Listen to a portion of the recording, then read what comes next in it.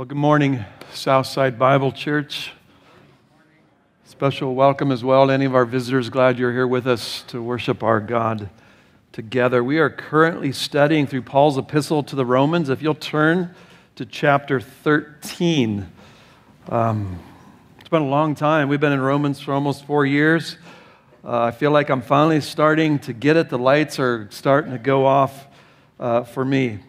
Uh, we've seen some amazing things. In fact, we, we spent all this time journeying up Romans 1 through 11, and we said we got to the, the Mount Everest of Revelation at the end of chapter 11, and we looked out at all of God's workings and dealings throughout history, and it was from Him, through Him, and to Him. To God be the glory for all things. And then we stood and sang the doxology together. Then we moved into our therefore in Romans 12 1. So now that we've been redeemed and we've been the blood bought children of God, we've been made right before our God. Therefore, offer up your bodies a living sacrifice to God. We, have been hiking up the mountain now. I'm going to call it Christian duty, our, our conduct. What is our living sacrifice to God now as His people? And, and so we went to Mount Everest in Romans 1 through 11, and I'm going to call uh, Romans 13 Mount Denali. So, uh, what, what's the highest peak, Mount Elbert. So let, us just stay in Colorado. The highest peak in Colorado is Mount Elbert. So that there's a higher peak, Mount Everest, where we just look at God's dealings and we worship. And now we've been learning how do I live? And today we're going to hit the top of the mountain and look out at Christian duty, and we're going to see the summary of the whole thing. This is the next highest mountain there is in the new covenant life. And so we've been looking at some beautiful things in Romans 12 and 13. And what I want you to think as we've been studying it, doesn't it feel different than what Moses gave on Sinai? Thou shalt not, thou shalt not. Uh, you have all these things. Uh, there's lightning, thunder, there's a sword. Disobey and die. Obey, you'll have life. There, the mountains shaking so that fear filled all of them. There's just something different in the new covenant. And we've been fleshing out the new offering that is to be made to God. And we don't bring dead animals anymore to the table. We, we bring our lives to be living sacrifices for God. These lives, if I could summarize it, are to be lives of love. Paul said the first thing is we are to go into the body of Christ and use our gifts to build each other up. There is a love for one another that I want to use my gift to see you become more like Jesus Christ. Paul said, Let us love without hypocrisy.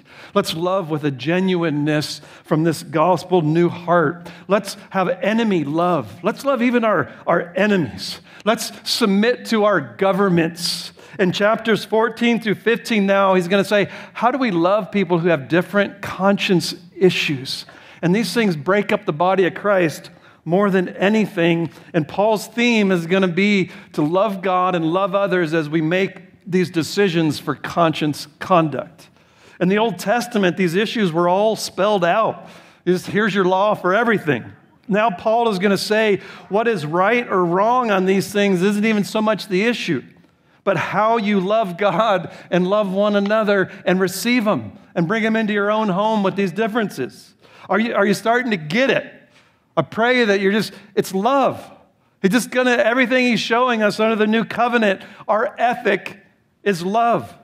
And in case you're not getting it, Paul's gonna climb to the top of the mountain this morning and explain what is the new covenant, what is new life in Christ to look like? How am I going to live? He's going to say it this morning where nobody can miss this. It is so clear. Paul's going to do some mighty things in these verses. If you'll look with me, turn to Romans 13, verse 8. So last week we saw we're to render to all what is due them, uh, the government, tax to whom tax is due, custom to whom custom, fear to whom fear, and honor to whom honor. And now he's going to say, owe nothing to anyone except to love one another. There's an outstanding debt that cannot be paid. Oh, oh, love, for he who loves his neighbor has fulfilled the law.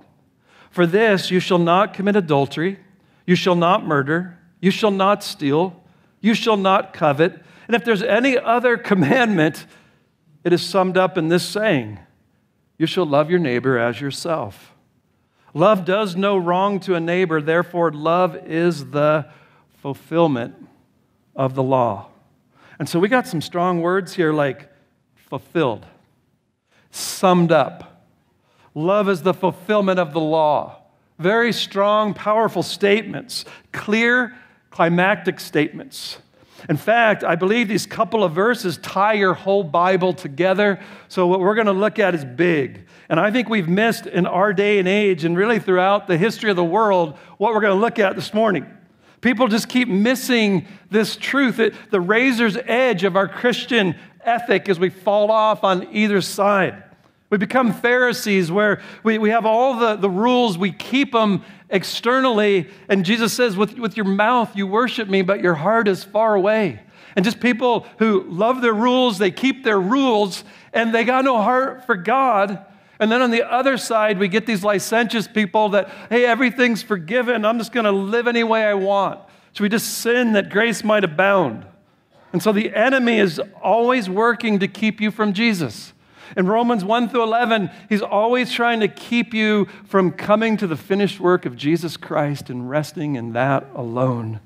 And then he's always trying to keep believers from love because that is what God wants from his children. This is the ultimate ethic of what God has always wanted from his children is love. And the devil would love for our good law keeping without love to keep us from God, to have all the externals without the internals. The church in America, we're experts at that. 1 Corinthians 13, he, he, says, You can be martyred. You can sell all that you have and give to the poor. You can uh, prophesy with the tongues of angels. You can do all these things. And if you have not love, you're a resounding gong and a clanging cymbal. You can get all the externals down and do mighty things. I mean, you can be martyred and miss the whole thing. If you don't have love, you've missed what God is driving his children to. You can get in a marriage and keep all your vows, obey your roles, and not even love your spouse. I've, I've had many who, who just try to do an end around uh, God by good law keeping, good duty with no love. You've missed the whole gospel. The freedom that could be yours this morning is I've just been praying fervently for shackles of law to fall off, that you might fulfill the law, where Paul said is to love from a sincere and pure heart. That's the obedience of faith that Paul is working for in Romans at the beginning and the end. This is the end game for the child of God. This is what Paul is wanting to see from the top of the mountain, uh, Mount Denali, just to look out and see this is what he's wanting from his people. Is this love that fulfills the whole law. And so I want to go to our God and ask him to increase our love this morning as we open up this word and look at the beauty of what Paul has for us. Father, we are at the top of, of the Christian ethic. As we look out from all that we've been learning, this is what you want from your people. This is what the gospel produces in hearts. And we live among a people who miss it.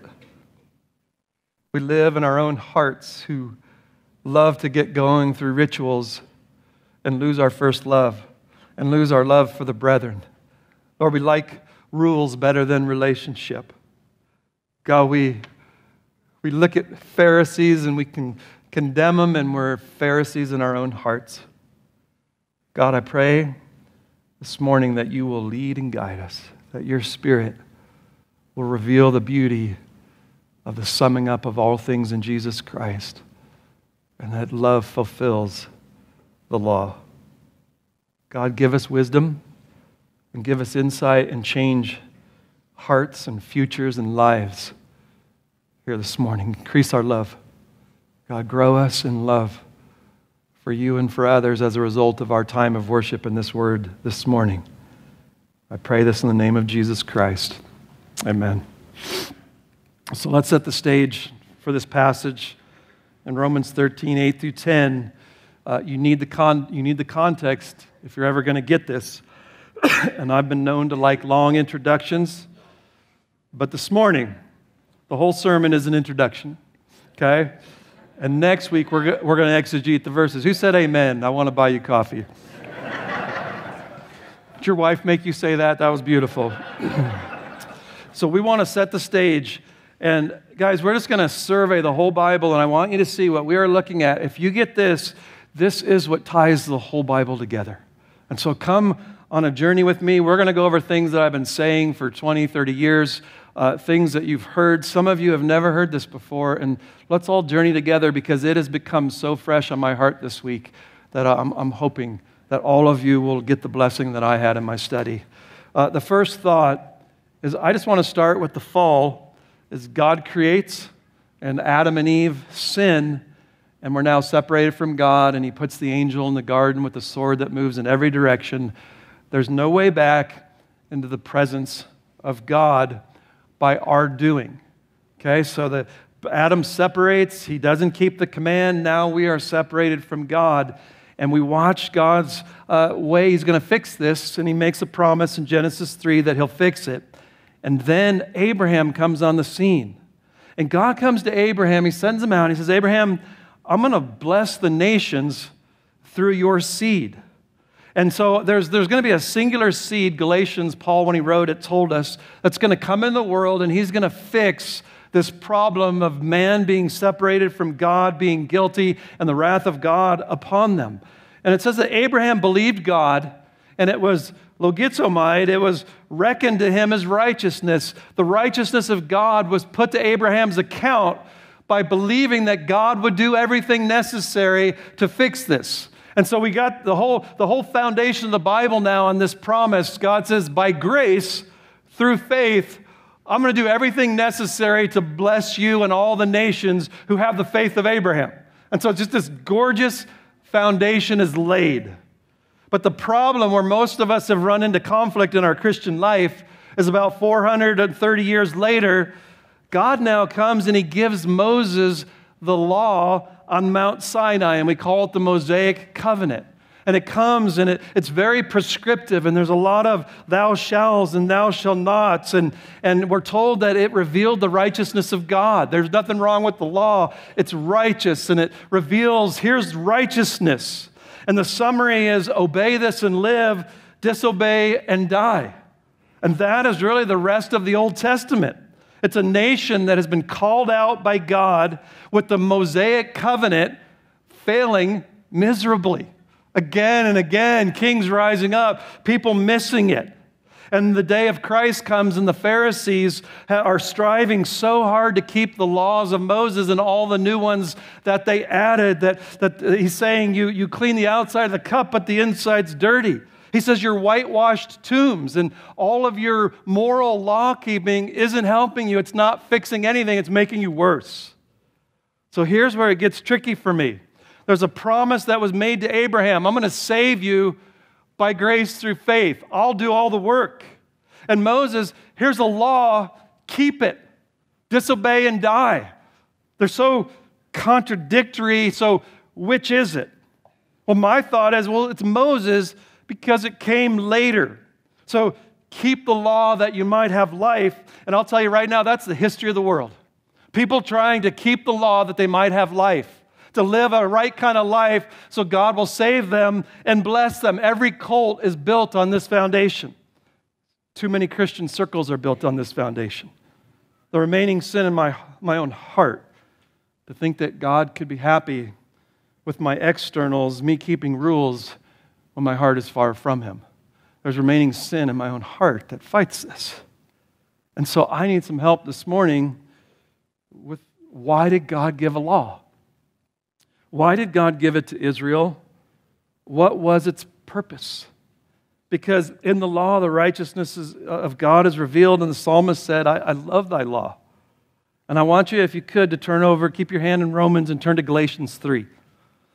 I want you to hear Paul answer this question. So, if this is new to you, keep tracking because this is the foundation of the whole hope of salvation in your Christian life. Galatians 3:15. Brethren, I speak in terms of human relations, even though it's only a man's covenant, yet when it's been ratified, No one sets aside or adds conditions to it. So once it's ratified, you can't change it. And now the promises were spoken to Abraham and to his seed. And he does not say to seeds as referring to many, but one, and to your seed, that's Christ. So I'm going to bless the nations through a singular one, Christ. And what I'm saying is this then the law, which came 430 years later, does not invalidate a covenant previously ratified by God, the Abrahamic covenant, so as to nullify the promise. So the law can't do away the, the Abrahamic promise, it can't nullify it and say, done, I want to go with this. For if the inheritance is based on law, it's no longer based on a promise. That's good logic. If it's done by you keeping rules, then it can't be Abrahamic, so that the two can't stay together. But God has granted it to Abraham by means of a promise. Why the law then? Thank you, Paul. It was added because of transgressions. Having been ordained through angels by the agency of a mediator until thus seed should come to who the promise had been made, Jesus. Now a mediator is not for one party only, whereas God is only one. Is the law contrary to the promises of God? That's what I'm asking. I love his answer. Me genoito. May it never be. For no way. For if a law had been given which was able to impart life, if you could have got saved keeping that law, then righteousness would have been based on law. It was never designed for that. But the scripture has shut up all men under sin that the promise by faith in Jesus Christ might be given to those who believe. Abrahamic covenant. But before faith came, we were kept in custody under the law, the Mosaic law, being shut up to the faith which was going to later be revealed in Jesus. Therefore, the law has become our tutor. Our tutor to what? To lead us to Jesus Christ, that we may be justified by faith in Jesus Christ alone. The law is going to tutor you, it's going to lead you to Christ. Therefore, um, but now that faith has come, we're no longer under a tutor. And I want you to hear that. Now that faith has come, Jesus, we're not under a tutor. We're not under the law. For you are all sons of God now through faith in Christ Jesus. For all who are baptized into Christ have clothed yourselves with Christ. There's neither Jew nor Greek, slave or free man, male or female, for you are all one in Christ Jesus. And if you belong to Christ, then you're Abraham's offspring, heirs according to promise. So I want you to see that when Adam sinned, the way back to God by our righteousness was closed forever. There's only one way back into the presence of God, and it's not by your law keeping, it's by God's.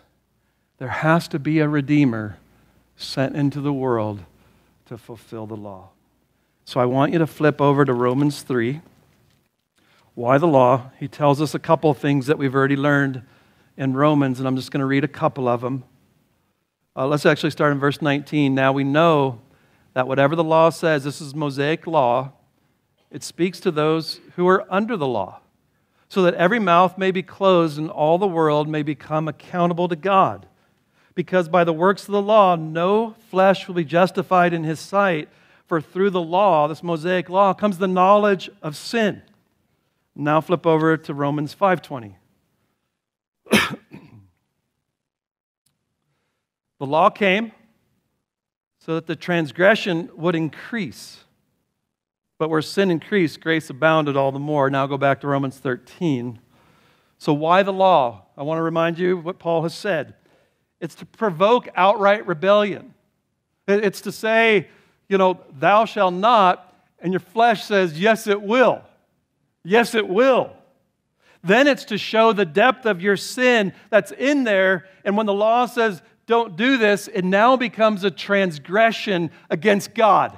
God has given you a revealed will, and you're now crossing it, shaking your fist at God, saying, Oh, I'll live any way I want. So sin now has become a transgression. Then it provokes religious people to try to make it be a ladder, that I'm going to climb my way into heaven. And Paul says it's designed to shut your mouth in regards to righteousness. The law was given so you'll quit saying, I'm good enough. I'm better than my neighbor. I'm more. It's to finally just everyone to be shut up before God and say, I'm a filthy sinner and I can't change and I can't fix and I can't, I can't fulfill this law that demands perfect righteousness. My mouth is shut before God. That's why the law. So now I'm blind and naked and wretched and poor. And Jesus says, to enter this kingdom, you got to come in poor in spirit. When you finally realize, I, I can't do it. I can't clean up enough and be good enough. That might be the water to a man in the desert this morning if you're here trying to clean yourself up and get your way into the kingdom. God designed the whole thing to fail at that. So it would tutor you to Christ. That you would come and receive the promise that was made to Abraham that Jesus Christ would come and he would fulfill the law. And so the law served the gospel. It wasn't two different ways to get right with God. It was saying it's going to be through Jesus Christ and His work alone. The law is going to come and show you that you need His work, that yours can't be enough. So the law is beautiful. It's going to lead you to Jesus. And that's what I love about the law. It's, it's, it's going to shut your mouth you might come to Jesus Christ and find eternal life. Thank you, God, for the law. So, my question is Did God not mean then what he said in the law? It was righteous. And it, and it showed what real righteousness looked like. And it prescribed punishment for the one who didn't keep it. The soul that sins must die. How do you just nullify the law of God? I'm changing it. You can't just say, law's over, now it's grace.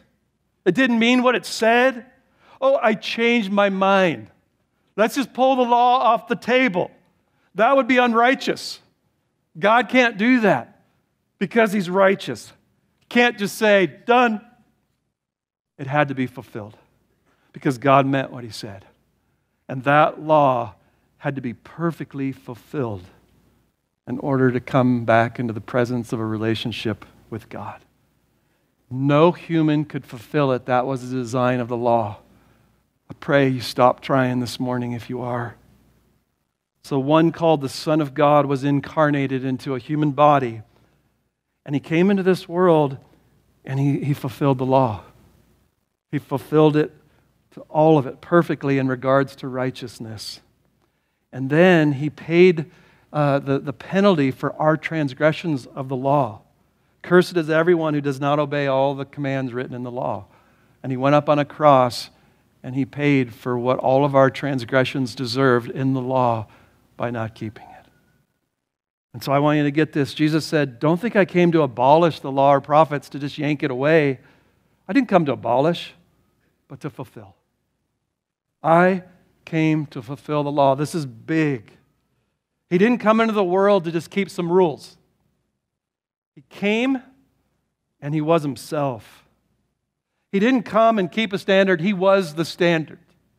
Jesus came and lived who he was.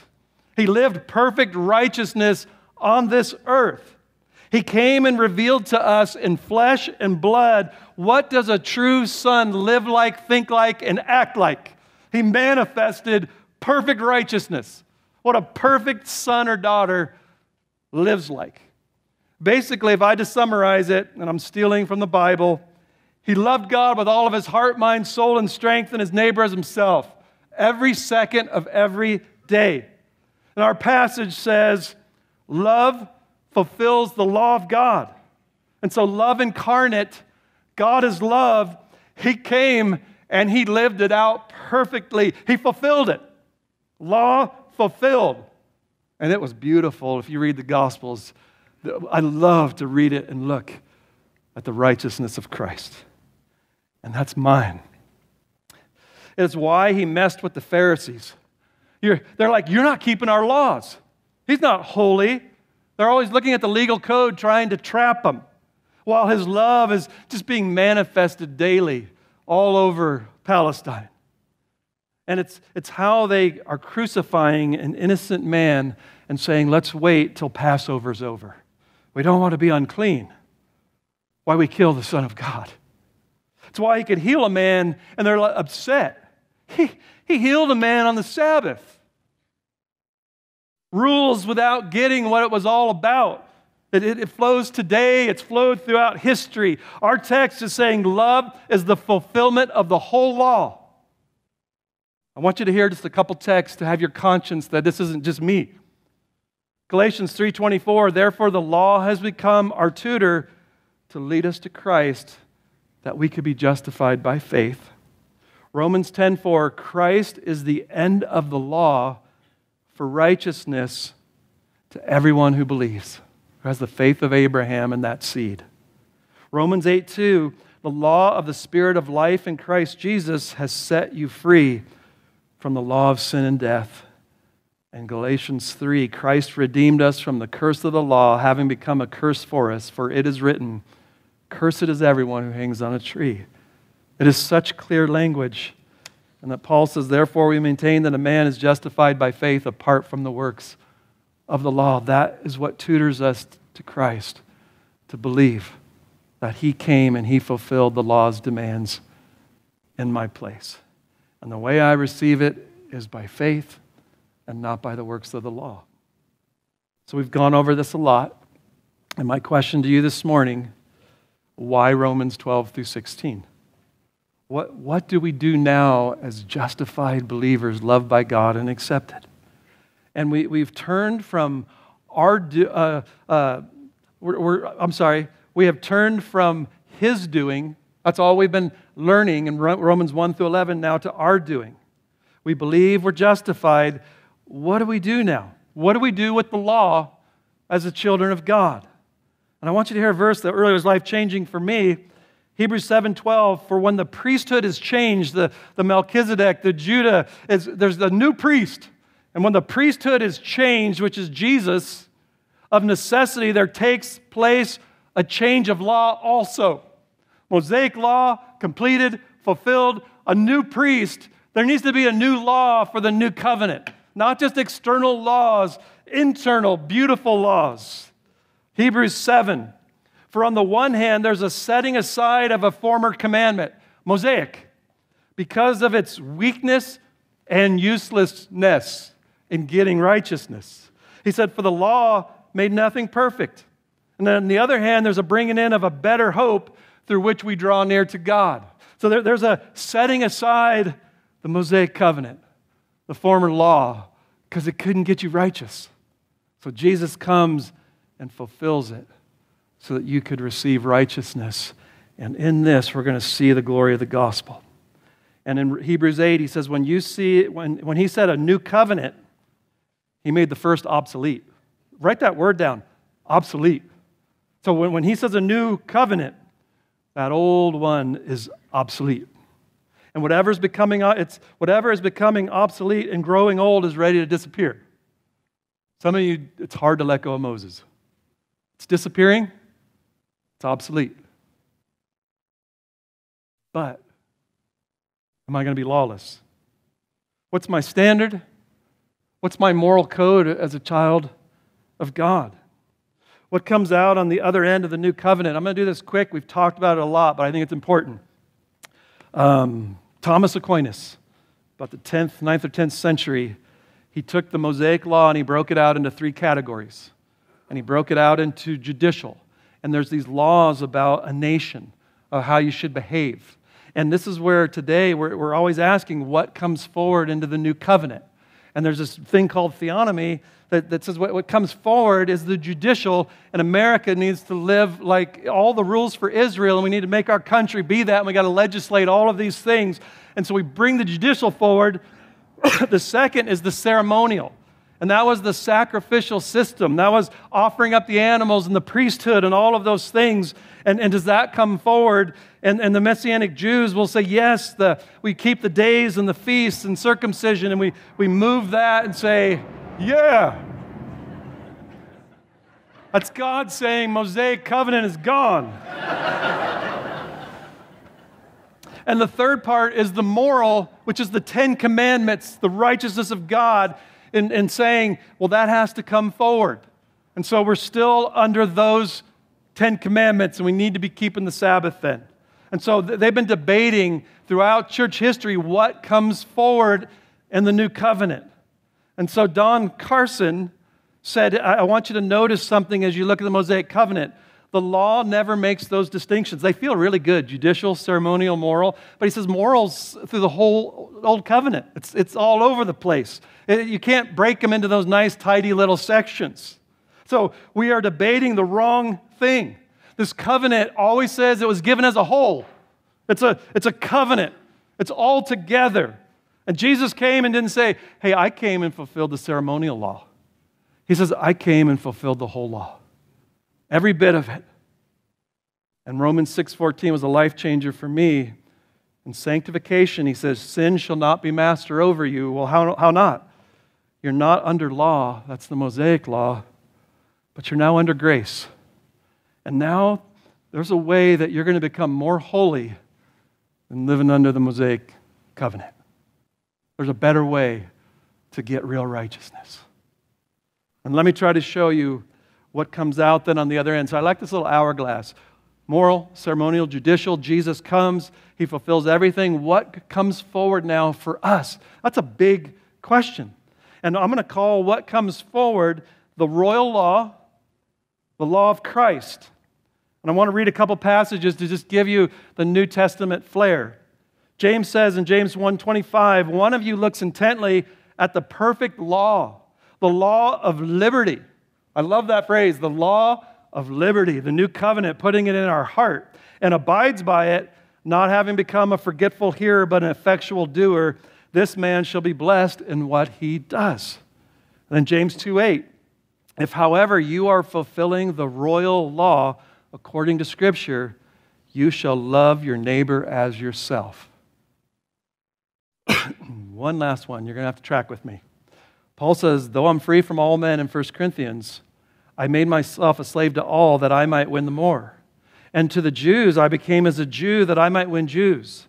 And to those who are under the law, as under the law, though not being under the law myself. So uh, when I go evangelize Jews, I'll stay under certain things that they're keeping so I can evangelize them, though I'm not under the law. This is Paul. I'm not under the law, that I might win those who are under the law. To those who are without law, as without law, though not being without the law of God, but under the law of Christ, that I might win those who are without law. So, I, those who aren't under law, I am under law. I'm under the law of Christ. And I'm not under the Mosaic law. So there's some really clear distinctions going on here that we need answers for. And so, what is this? What is the royal law, the law of liberty, the law of Christ? You're going to hear it from me till you die. It's Romans 13, 8 through 10. Owe nothing to anyone except to love one another. For he who loves his neighbor has fulfilled the law. For this, here's your Ten Commandments you shall not commit adultery, you shall not murder, you shall not steal, you shall not covet. If there's any other commandment, it's summed up in this saying you shall love your neighbors yourself. Therefore, love is the fulfillment of the law. The law of Christ is love. There is something that God has been after. We, we studied it uh, in Romans 8 that He's always been after love, even in the Old Covenant. The law isn't just a list of rules, it's how you love. And I'll tell you this right now if you love your neighbor, you know what? You won't murder them If you love your neighbor, you won't take their wife. You won't lie. You won't steal. God has always wanted our hearts, and He wants our hearts to be like Him. And God is love. And that's how Paul could make such bold statements here in Romans 13. And I think he got it from Jesus. When the Pharisee heard that they had put the Sadducees to silence, they gathered themselves together, and one of them, a lawyer, it's always the lawyer and he asked him a question, testing him Teacher, which is the great commandment in the law?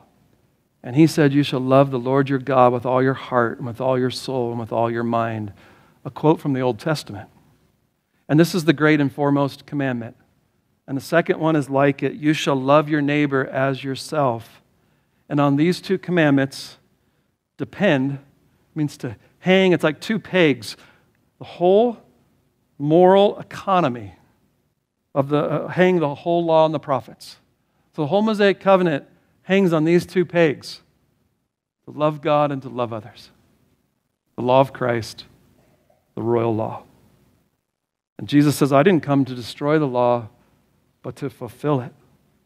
And the fulfillment of the law is love. Christ came and he gave us that. He loved God with a passion that could never be moved away or, or ever decline. And he loved his neighbor as his own self, all the way to the point of laying down his life on a cross for his enemies. Galatians 5 For you are called to freedom, brethren, only do not turn your freedom into an opportunity for the flesh, but through love, here's the law of Christ, serve one another. For the whole law is fulfilled in one word in the statement you shall love your neighbor as yourself. This is all over the Bible. Love is the aim. Loving your neighbor is satisfying what God has always wanted from us. It's a lot easier to keep rules and be raunchy and cranky and nasty than to love. Love fulfills the whole law, it's the substance of the law. And so get this love is not against the law, it's what the law was pointing to. It's fulfilled. The whole law has been pointing to this. Love doesn't contradict law. The law will be written upon our hearts. The disposition to love God and others are written in our hearts when we believe in the Lord Jesus Christ on the cross. That's the new heart that He gives us. So don't fall apart. If you love someone, you'll never kill them, you'll never lie, you'll never steal. Love will bring about the most excellent morality that there ever could be. It's just excellent. Love. Love like no other. That's all we've seen in Romans 12 love, love, love. He just keeps teaching us the, the highest standard of the new covenant is to love one another. It always goes higher and higher to where I can rejoice with those who rejoice and weep with those who weep. Love is the fulfillment of the law. And what the law forbids, love forbids. One man said this Love's bent fulfills the law's intent. Love's bent fulfills the law's intent. Love carries out the intent of the law. The law is love in action. You shall love your neighbor as your own self. You should love your neighbor as your own self. And Jesus comes, and you know what he does? He takes it higher. And he says, A new commandment I give to you that you love one another, even as I have loved you. I take your breath away. It's one thing to say, love your neighbor as yourself. That's big and no one can keep it. Love your neighbor as yourself, even as I have loved you. That is the ultimate law of Christ. High as it goes. Love as I have loved you. But the fruit of the Spirit is love joy, peace, patience, kindness, goodness, faithfulness, gentleness, self control. And against such things there is no law. Law isn't going to get that. But coming to Jesus Christ and, and being joined to Him and believing this gospel, a fruit can come out called love. Law can never produce that. The gospel can produce a supernatural love like anything else. The law, don't do, thou shalt not, don't do. The law of Christ, love as I have loved you. Love, pray for them, bless them, feed your enemies, rejoice, give preference to one another, and honor. Love. Thomas Schreiner, the, the commentator, said, Love always seeks what is good and edifying for others and does not consent, content itself with calculating whether it's fulfilled the proper rule or not. What's the proper rule? It's just saying, love just says, how do I do the best for this person? I just move out. I am not just this big rule machine running around. I just keep rules. I just have a heart that loves and moves out. You can't fake this. You can fake rules till the cows come home. This is the only explanation for why you can keep law and not be a lover. I've met some of the meanest people who are just good at keeping rules. This is the fulfillment of the whole law. Love. So let's close this introduction.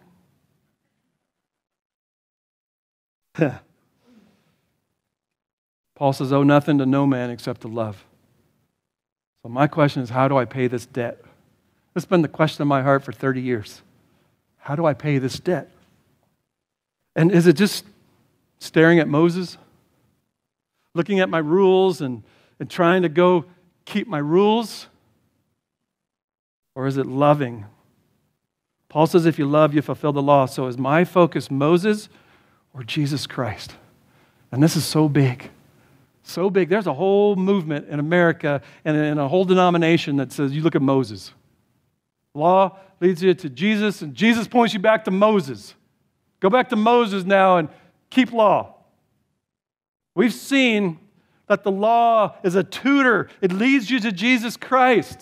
Christ doesn't say, go back to the law, go back to some shadows, go back over there. He's saying, I'm it, I'm the fulfillment. Hear this the law never pointed to itself, it pointed to Jesus. Come to Jesus and don't go back to Moses. He fulfilled all of its demands. It's ready to disappear. It's vaporizing. It's done. It served its purpose. Well, I needed to tutor. Try this tutoring someone. Love as Jesus Christ has loved you. Who can keep that? Be perfect as your heavenly Father's perfect. We can tutor people like crazy to show their need of Jesus Christ. Now, my sanctification and my growth in holiness is in reference to Jesus Christ and not to law. And some of you, your whole reference is law, and that's why you're not growing. Your, your reference is law. Am I keeping it? I'm in shame. I sit under it. There's no power. I just stare at myself and law, and I'm dying and I'm miserable. Why am I not growing in holiness? Because you went back to Moses. Come to Christ. My commandments are not burdensome. Jesus is the fulfillment of the law, and I want you to hear this. He's our focus, He's our motivation, and He's our standard. I don't need tablets, I got Jesus. And He's God incarnate showing me how to love. We have the enfleshment of righteousness that walked on this earth. And we get to see what it looks like in a human being. I love having a human instead of a moral code to learn how to do this. And I get to look at Christ. So when I say, give me Jesus, I mean that with the whole fiber of my being. Give me Jesus for everything. And now, one last thing, and I'll let you go. No, we got to have communion. Romans 7. And we keep going back to this because this one changed my life. This is when it finally clicked. Where do I go to get holy as a believer? 1 through 3. Do you not know, brethren, from speaking to those who know the law? The law has jurisdiction over a person as long as he lives. For the married woman is bound by law to her husband while he's living. But if her husband dies, she's released from the law concerning the husband. So then, if while her husband is living, she's joined to another man, she shall be called an adulteress. But if her husband dies, she is free from the law, so she is not an adulteress, though she be joined to another. And so she can remarry now uh, because she's not under that law anymore. He died. And so if you die under to this law, you're free to get remarried. Now, come to verse 4. You know my favorite word, therefore. Think through this. Therefore, my brethren, you also are made to die. You didn't die to your spouse, you died to the law. Mosaic law. If someone says, why doesn't Paul just make it clear? You were made to die to the law. How did I die to the law? Through the body of Christ. I died to the law by Him dying on a cross in my place. And so that you might be joined to another. That's the same word three times for marriage in the verse before. So you can be married to someone else. Who? Him who was raised from the dead you can be joined to Jesus Christ. They tutored you to Christ. I can die to the law because I can be married now to Jesus Christ. And this marriage He's going to use what's called a hina clause. The purpose is what? That you might bear fruit for God, which I'm going to say is love, the fulfillment of the whole law. And so the way you're going to get holy is by dying to the law and quit trying to fulfill it and keeping it and living under its condemnation, but to come to Jesus Christ and see Him fulfilling all of the law's demands. For Christ is the end of the law for righteousness to everyone who believes. And by living in faith in this marriage, little blossoms are going to come up. And they're going to be called love. Love to God. They're organic. They start coming from this relationship. And the relationship to law will never produce this fruit. And I've, I, as a pastor, I've done it myself and I've watched a bunch of you do it. When you live under law, you don't love. You're always consumed with yourself, you're navel gazing, you're, you're just lost in law and condemnation and self. It will never bear what God's wanting to put in your life. To realize it's all been fulfilled in Jesus Christ and there's no condemnation. I am now loved by God and accepted and I am in a marriage to Jesus Christ. The best marriage. I love my marriage, but I like this one a million times more. It is better than anything to be married to Jesus Christ. And that marriage bears fruit called love.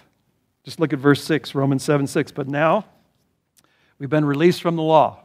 Clear? You've been released from the law, having died to that by which you were bound, the law, so that we serve in newness of the Spirit and not in the oldness of the letter. We serve now in the Spirit of, of the Holy Spirit, pointing us to Jesus and manifesting the fruit of the Spirit called love. So we are joined to another. Uh, we, we're to, this is not lawlessness, it fulfills the law to love.